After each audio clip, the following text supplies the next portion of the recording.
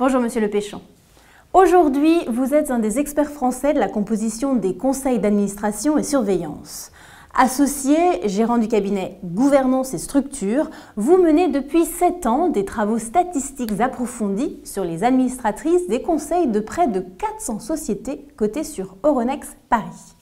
Par ce biais, vous avez répertorié les noms et caractéristiques principales de plus de 1000 administratrices. Effectivement, en lisant les rapports annuels et les procès-verbaux des assemblées générales, j'ai mené mon étude annuelle sur l'impact des lois pour la parité des conseils. Pour 2016, les frais ont pu être partiellement couverts par le soutien financier du Cercle des administrateurs des anciens de l'INSEAD et d'Angie, ainsi que de M. Bertrand Collomb, ex-président du groupe Lafarge. Je les en remercie très vivement. À qui s'adresse cette étude? D'abord au président des conseils, mais aussi à tous les acteurs intéressés par la gouvernance des entreprises et à l'égalité professionnelle entre les hommes et les femmes.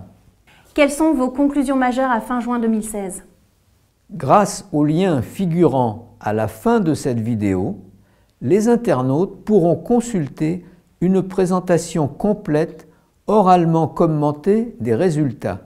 Elle sous-tend mes réponses. De fin juin 2015 à juin 2016, la progression de la féminisation des conseils est nette. Dans ces ratios moyens, les sociétés en avance dissimulent celles en retard. En fait, l'examen détaillé, entreprise par entreprise, des ratios et des différences entre le nombre d'hommes et de femmes pour les conseils de 8 membres ou moins montre que des efforts sont indispensables avant les premières assemblées générales de 2017. À l'issue de votre étude, quelle est la recommandation majeure pour les présidents de conseil?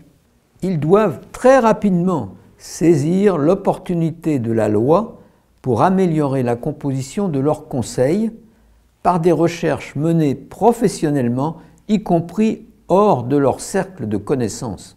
Quelles sont vos recommandations aux femmes candidates? Elles doivent étendre leur relationnel, voire, si nécessaire, participer à des formations spécifiques ou certifiantes pour combler leurs éventuelles lacunes. Celles connaissant bien un pays étranger peuvent postuler à des postes d'administration dans ce pays, par exemple en Angleterre. Monsieur Le Péchon, je vous remercie vivement pour toutes ces réponses.